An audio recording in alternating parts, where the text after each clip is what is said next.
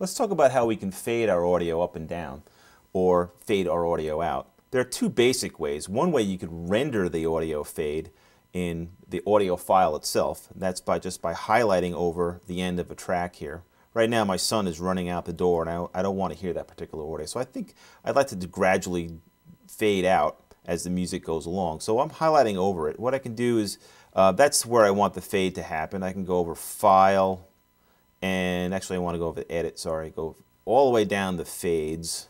This is pretty cumbersome because I never do it this way. And then it says create fade, Apple F.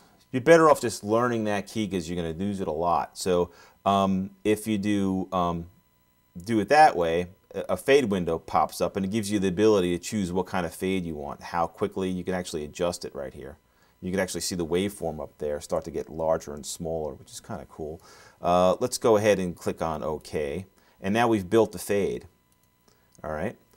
Uh, let's do that faster. Command F, fade, OK.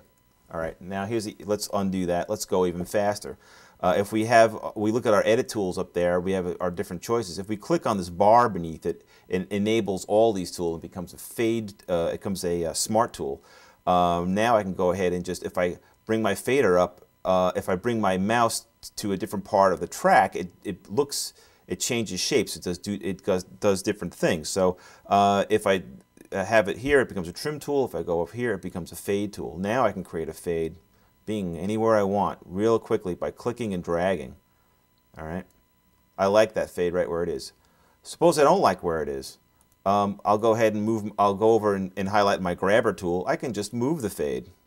Is that awesome or what? I just grabbed the whole fade and moved it. That's really cool. So that's one way of making a fade and rendering it and moving it around too. Very powerful.